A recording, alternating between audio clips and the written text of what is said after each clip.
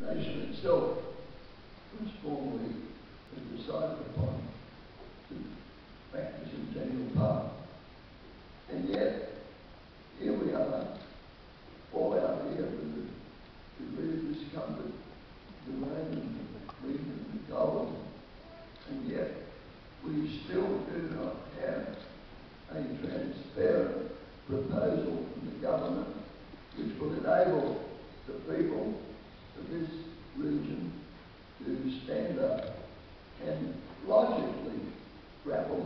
is the problem.